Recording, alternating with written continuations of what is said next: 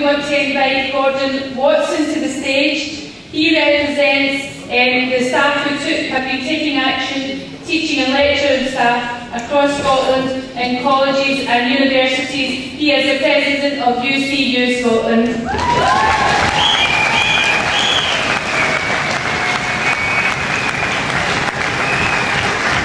Thank you, thank you for asking us. And can I just say we were around all the universities this morning and they were all dead as a door and nobody there. Can I thank all of them?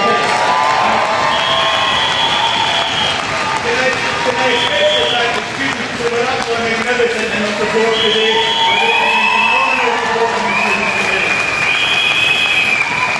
The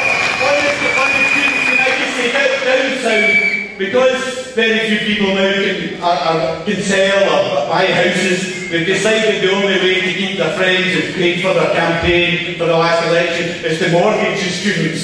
So, and I the students so much because that down south are just an, an absolute shit.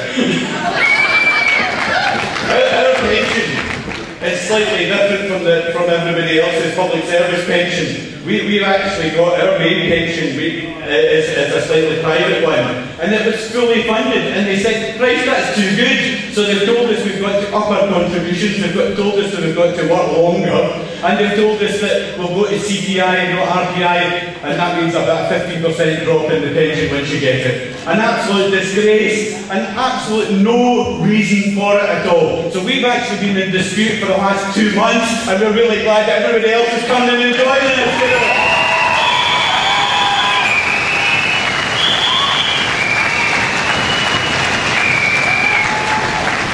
I just really, society's about how we care for each other. It's not about this self-indulgence crap that we get from the two at Downing Street. Those two have, as you saw yesterday, having a Scooby-Doo how to run the economy. They've no idea, the quicker they go the better.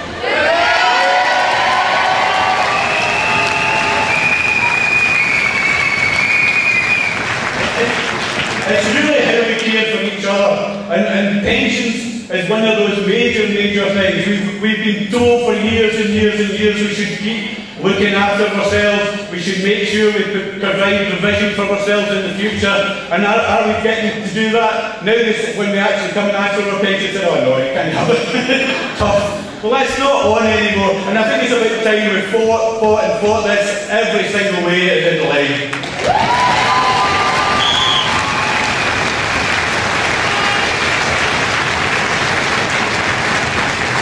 Say, I'm so glad so many people have turned up because I say we've been in dispute now for two months. This is just the beginning, the very, very beginning of what is going to be a long battle and a long campaign. And I hope you're all there.